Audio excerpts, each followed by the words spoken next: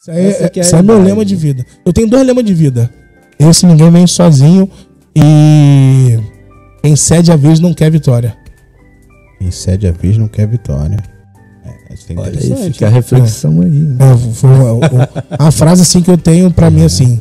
A frase, Chegou a ver, é frase minha do- vez, É, opa, sou essa, eu. é a música, essa é a música do Jorge Aragão. Uhum. Ele, quem cede a vez não quer Sim, sim, vitória. sim, é isso mesmo. Eu, eu sou eu, sou eu. Não, vambora. Sim. Opa, opa, A grande aqui. oportunidade, às vezes, é uma vez, né? Pegou? Pegou aquela oportunidade. Pegou, Luciane? Lógico. Pega a visão. Pega a visão. Eu pego a Tem visão. pergunta? Não tem pergunta não, mas tem um comentário aqui do Matos Produções. Matos Opa. Produções. Alô, Max. Aquele abraço, meu compadre. É isso aí, o Thiago, Thiago, Thiago Matos, que é diretor do Grupo Bom Gosto, meu parceiro. Poxa, aí, ó. Legal.